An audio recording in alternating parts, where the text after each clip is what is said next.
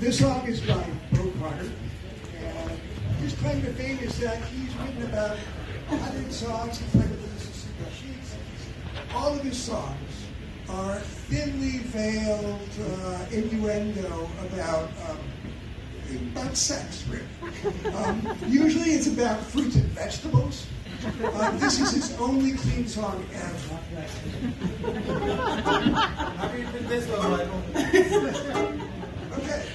afraid to read between the lines.